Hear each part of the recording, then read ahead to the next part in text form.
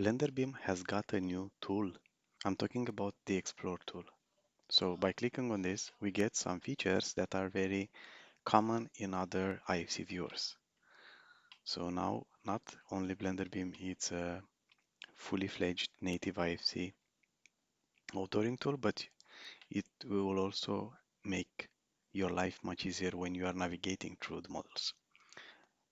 I'll show you very, very briefly what I like the most about this new feature. And there are these two things, the clipping plane and the walk mode. So uh, let's take a clipping plane here.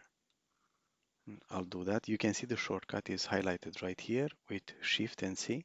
So if I, after selecting this wall right here, I press on Shift C and I get this clipping plane, which I can drag and you can add more of them simultaneously. So this is really neat. If you want to flip it, you can use Shift F and we will get it from the other side.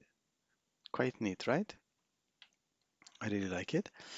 So the other thing, it's walk mode. So let's have a look at it. Shift W.